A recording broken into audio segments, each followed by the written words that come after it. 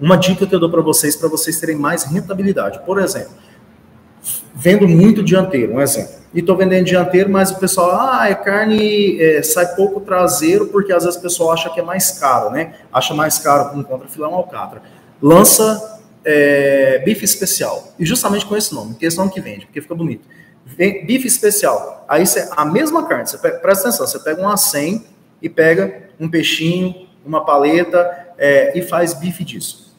Você venderia ele de, sei lá, 29 reais. Aí você coloca lá assim, bife especial, R$ 31,90. Você estava vendendo de 29. É a mesma carne. Você já está faturando dois, três reais em quilo, fácil, e vende. E lembrando de dica, gente, meu link está aqui embaixo do meu curso online. Tem muita dica onde eu falo sobre desossa suína, bovina, refilagem, perdas, é, dou muita dica de armazenamento, sugestão de preparo.